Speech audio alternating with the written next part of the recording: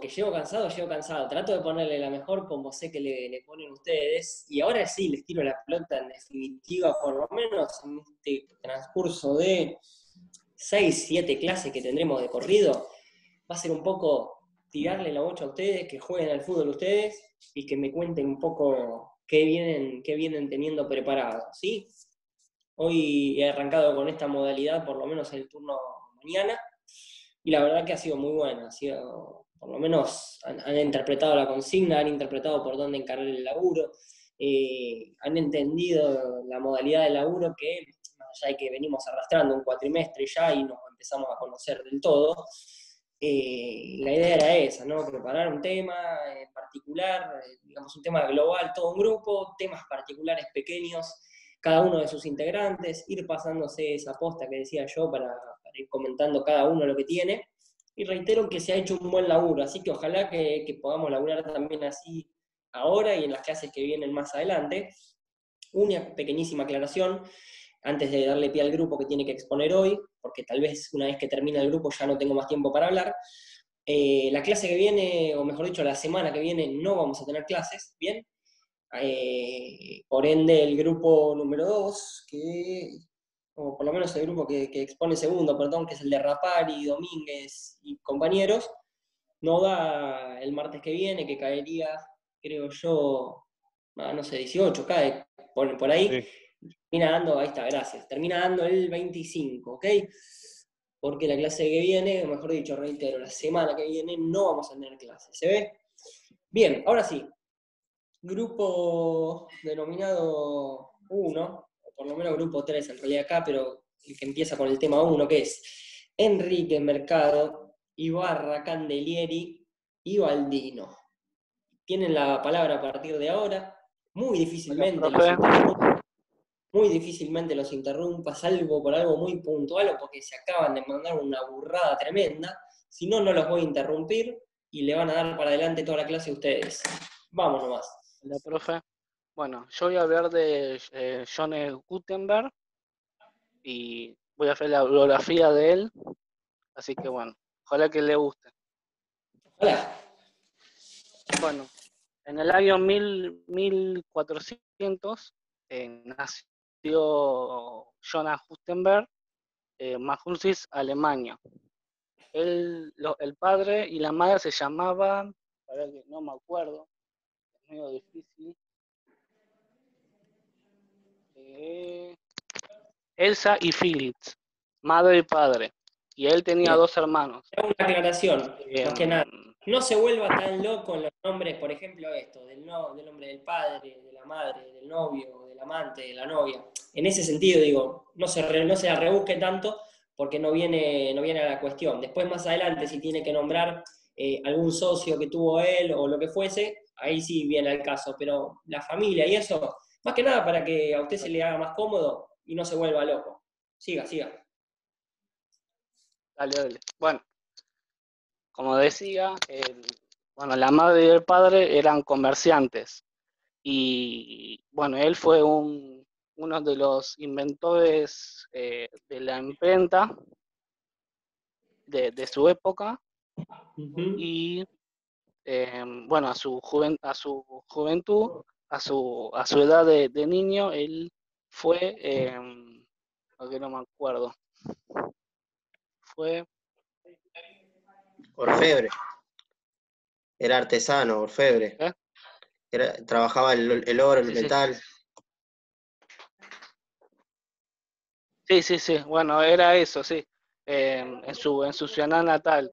Bueno, y él, eh, como que, bueno, su madre había heredado una, una fábrica de friki que, que le había eh, dado por, haber estudiado en la Universidad de Friedrich, que después hoy en día es Hetzel, que bueno, alemán no, sé mucho, pero la madre le había dado eso a, por, haber estudiado ahí. Mm. Básicamente, ese año eh, su padre había muerto en el año 1419, eh, no se conoce mucho cómo murió, y bueno, varios años él no, estuvo no estuvo visto hasta que el año 1424 él fue a, la ciudad de Estambul, que ahí, que ahí compró un taller para hacer, para hacer tallaba o, ah, me estoy trabando. Eh, hacía espejos sagrados para la, para la iglesia, que después como que la iglesia le gustaba como, como él hacía su, su trabajo y él ganaba, mucho, eh, ganaba dinero haciendo sus, obras, también de libros que él hacía, que, que, era único y calculable lo, lo que hacía él. Eh, pero para, para la ciudad eh, era como que, como que no, como que la ciudad no, no, no, como que no le gustaba, eh, como, no, no, no era que no le gustaba, es como que sus, la ciudad de él no había mucha gente que sabía leer y escribir, entonces era el, el como que bueno, era, como perder el tiempo, pero bueno. Eh, varios años de éxito que tuvo con los libros, eh, su socio, eh, su socio Furetz, el año 1455, em, él había em, haciendo los libros que fueron para su, su época fueron exitosos. Eh, había hecho casi, casi 55 libros, le faltaba uno más y como que se quedó sin dinero y su socio no, no le prestó más dinero, así que eh, se quedó en bancarrota él y estuvo varios años, varios años sin presentarse hasta que el año, hasta que el año, bueno, hasta que él volvió a su ciudad natal. Y ahí fue el, el, el, me sale el nombre. En Mauncia. Ariseo, Sí, Arzobispo. Creo que, fue al, obispado. que bueno. Sí, que bueno, el año, bueno, ese año y después, bueno, en el año 1458 él falleció y sus restos quedaron en, en la iglesia de, de, donde él había, había trabajado en su juventud. Es, ahora paso con Danilo. Buenísimo, gracias Franco. Bueno, eh, yo eh, voy a, hablar sobre, voy a contextualizar un poco esta época y voy a hablar sobre algunas técnicas eh, anteriores al novedoso invento de, Gutenberg. bueno, después iba a explicar detalladamente nuestra compañera Camila, pero que no puede estar. en primer lugar, podemos decir que durante siglos y siglos Em, el saber y el conocimiento eh, era mm, eh, elitista, estaba, era un privilegio de la élite, sobre todo de sacerdotes y, monjes.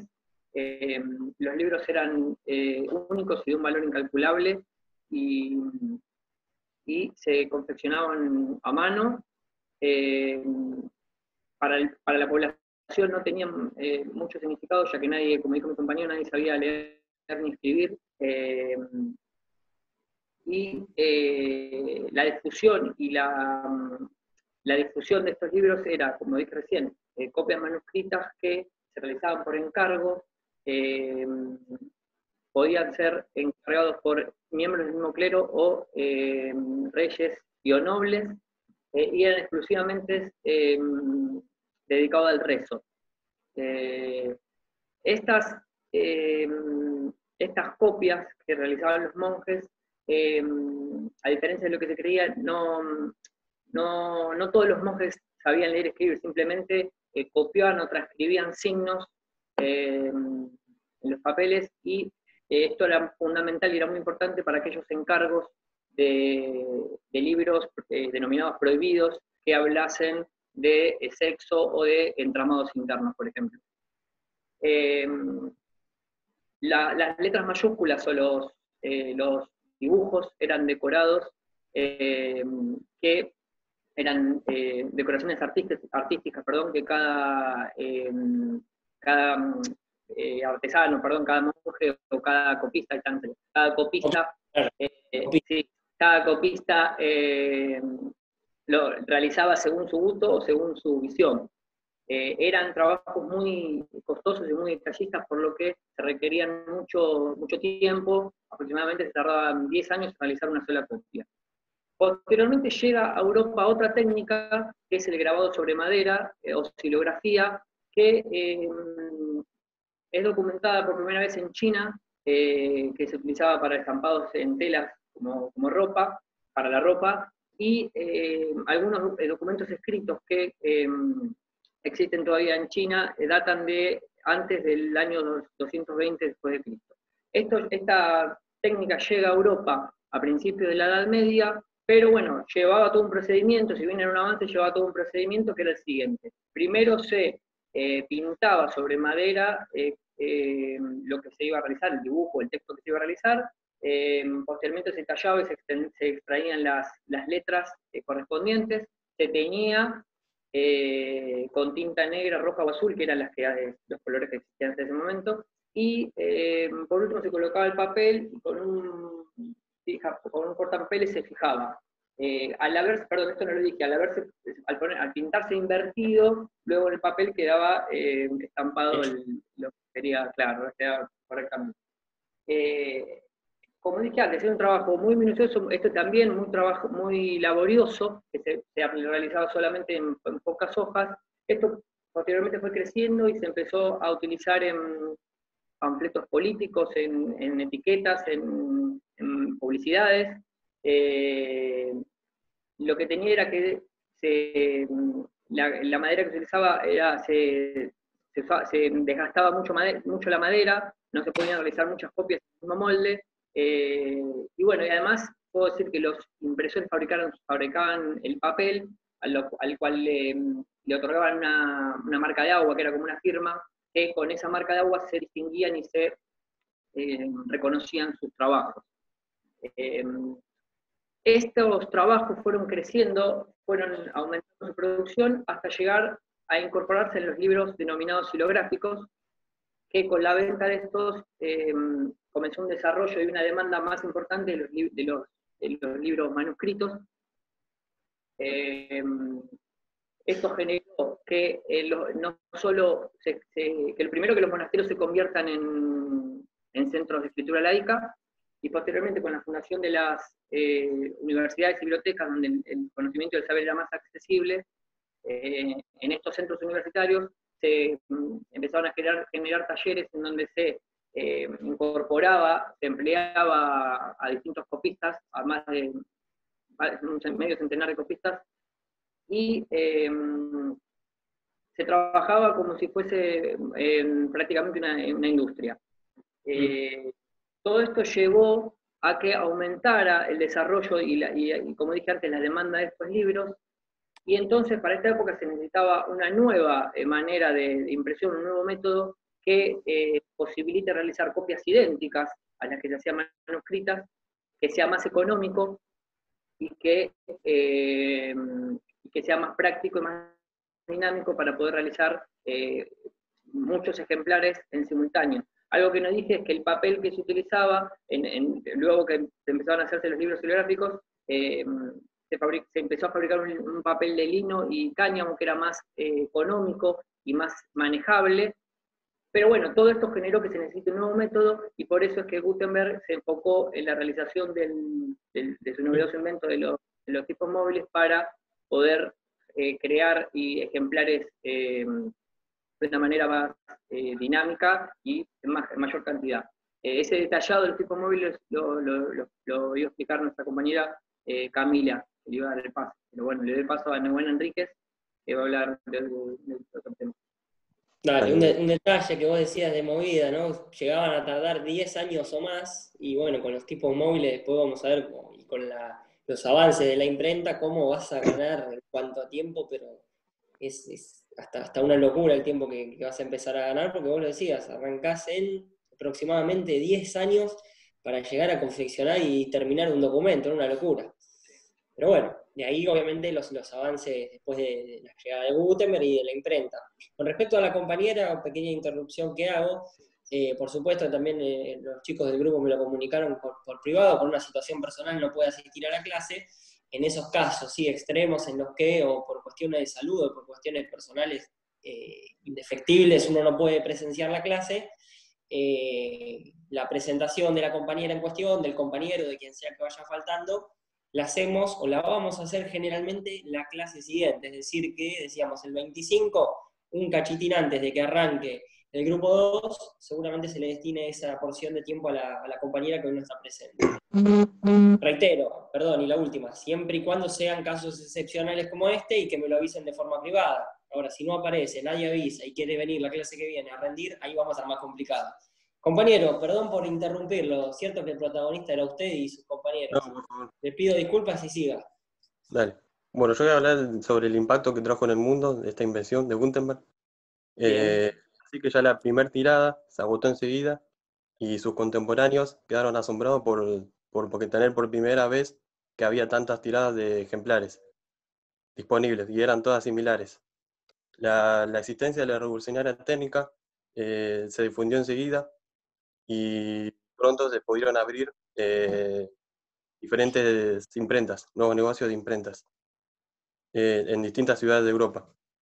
Eh, también en Venecia, el editor Aldo Manucio comenzó a imprimir los grandes clásicos y creó la, inventaron la, la, letra romana antigua, que empezó a extenderse con el correr del tiempo. Veinte años después de la invención de Gutenberg, la nueva técnica de impresión eh, ya se habían puesto rotundamente. Miles de ejemplares salían al, mercado con hasta de mil, eh, mil tiradas. Eh, el pueblo podía acceder a los libros, tenían la facilidad de acceder y, y que a la alfabetización de la sociedad les permitió poder tener cada vez más acciones, poder abrir, ¿cómo es?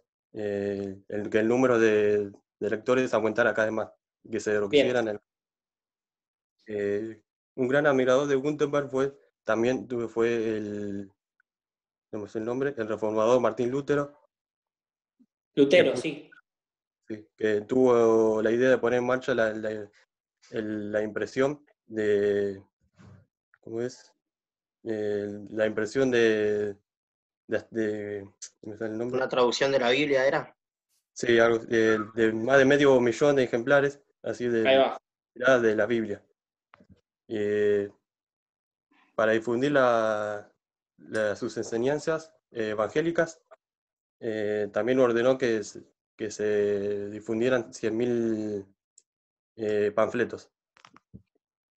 también fue otro, también aparte de Lutero, hubo otros como los reyes, las ciudades libres imperiales, los imperios, que acudieron a esas acciones de, las impresiones para poder cumplir con sus objetivos que necesitaron.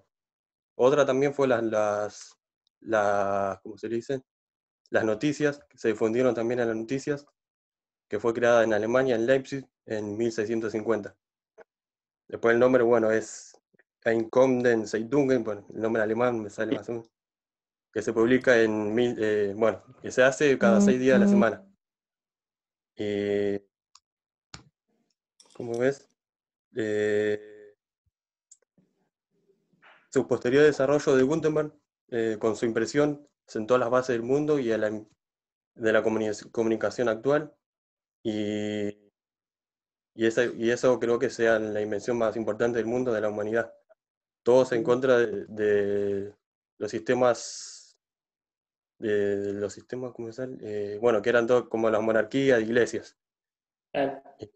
Bueno, después había los historiadores antiguamente creían que, habían sido otros los creadores de, esta impresión y no Gutenberg, como lo fue también en Avignon, el nombre del señor, eh, un orfebre que llamado Waldvogel, que decía entre 1444 y 1464 eh, que de conocer un, arte de, escribir eh, eh específicamente, un arte de escribir alfabetización, eh, artificialmente, perdón. Y también en otras ciudades, como en Holanda, del nombre del señor de, de un orfebre llamado Koster, que nació en Holanda también. Y, pero el, el creador de estos descubrimientos eh, es, sería Gutenberg. Eh, Dada por dadas las circunstancias en que se produjo, todavía quedan abiertas algunas incertidumbres sobre quién fue el creador de la imprenta. Bueno, ya está ahí y ahora lo doy pase a Diego Mercado. Bien. Sí, en términos generales, hoy en día se dice que eh, universalmente que, Gutenberg es, digamos, el, inventor de la imprenta. Bueno, por mi parte voy a hablar de, lo que es un taller de impresión de tipos móviles o tipográfico, como se conoce ahora. ¿Le sirvieron esos links que le fui pasando? ¿Le sirvieron? ¿Estaban buenos? Sí, pero el, de, el tema de los talleres, ahora yo no sé si se puede compartir imágenes, yo tengo algunas que otras imágenes, porque me sirvió más verlo gráficamente que porque tiene muchos términos específicos. Pero en, sí, por ejemplo, eh, un taller de, tipos móviles hoy en día se lo conoce más como tipográfico, ¿no? Eh, fue un impulso hacia el progreso, como habían mencionado ya los chicos, pero a la vez con el tiempo fue quedando ya algo obsoleto por el hecho de, de su trabajo artesanal y demás. Bueno, eh, ese componente nostálgico es lo que hace que hoy en día sigan algunos talleres eh, como museo histórico o con tiradas cortas, o tal vez eh, algún que otro editor busque ese, ese, matiz antiguo que le da la impresión de, de esa forma. La tipografía en sí es una palabra que da dos definiciones, el aspecto de cada texto y sus letras, o el arte de trabajar el texto. Ahí podemos trazar una relación con Gutenberg, que digamos que con su invento no solo fue moderno, novedoso, sino que también tuvo una beta artística que, tienen todas las actividades artesanales, como por ejemplo la, gastronomía artesanal, las ferias artesanales, todos tienen un componente artístico. Bueno, Gutenberg también en su inventiva tiene algo de eso. Bueno, em, como decía, un taller de este estilo se distribuye en dos zonas fundamentalmente. La zona de composición, que es donde están los tipos móviles, que son las letras metálicas, cada letra metálica, y bueno, ahí se conforma la, frase, y también está la parte de la impresión, que es donde está la máquina grande, que, digamos que, no sé si habrán visto algunos chicos, es una máquina que tiene varias, varias funciones. En cuanto a la zona de composición, hay un, hay un oficio de componedor, digamos que es el que en donde está una mesa de madera con varios cajones y ahí se separan eh, los distintos tipos móviles, las letras. Eh, a ver si puedo compartirles acá alguna imagen. Bueno, eh, ya estoy. Sí, sí, tranquilo, tomate el tiempo. Ahí está, ahí compartí un tipo móvil para que vean. Eso sería el tipo móvil. Después. ¿eh? Eh, no, lo subí al chat. Lo subí al chat. Ah, listo, listo, no dije nada, no dije nada. Y la composición, la zona de composición. Bueno, el componedor pone los tipos móviles en una especie de, de regla o aparato de madera para poder formar la frase